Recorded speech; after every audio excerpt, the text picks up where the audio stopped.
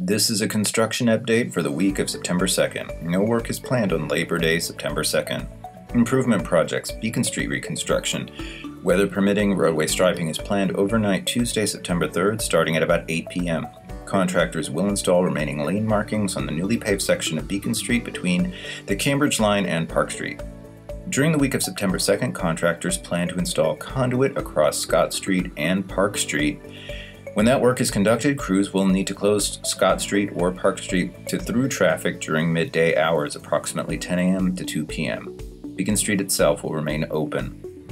Work will continue to build the northbound raised cycle track on Beacon Street between Kent Street and Oxford Street. Crews are installing granite edging and paving the track in sections. Cyclists are advised to continue using the bike detour during construction.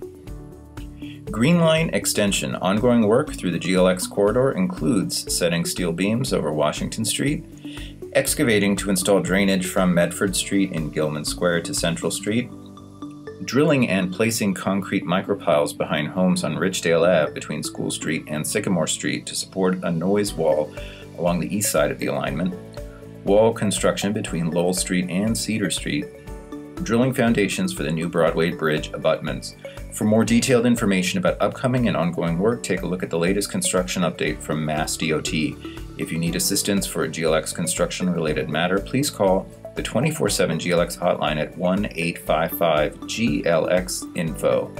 Sacramento Street Underpass Rehabilitation. Contractors continue to place concrete for new stairs and ramps. The underpass will remain closed until later this fall. Somerville Ave utility and streetscape improvements. Water main installation is expected on Somerville Ave from Prospect Street to Medford Street. Some residents will experience interruptions to their water service. Please sign up for the city's alert system to ensure you're notified in advance. Installation of the next section of box culvert drainage infrastructure continues on the north side of Somerville Ave between Miriam Street and Prospect Street. For maps and more detailed information about the current detours, please see the Detours tab of the project website or the MBTA website for service advisories. Somerville High School Building Project. Weather permitting, contractors plan to place concrete floor slabs for the fourth level of the new building's western wing early Tuesday, September 3rd. Trucks may arrive as early as 5 a.m., with work beginning at approximately 6 a.m. For this placement, crews will need to access the worksite via Highland Ave between Putnam Street and Vinal Ave.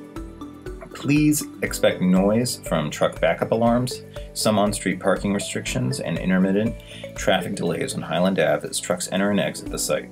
Contractors are also excavating in advance of foundation work at the new eastern wing, whose footprint you can see on the site logistics plan, and continuing renovation at the gym and future theater.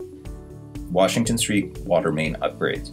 During the week of September 2nd, crews plan to clean and line the water main with cement on Washington Street between Beacon Street and Hawkins Street, and dig pits between Hawkins Street and Webster Ave to replace the water main, requiring parking restrictions and lane shifts. Throughout this project, some residents will experience interruptions to their water service during construction. Sign up for the city's alert system to ensure you're notified in advance. Pavement and Sidewalk Management Program. Sidewalk reconstruction at Medford Street from Partridge Ave to School Street. Additional utility work.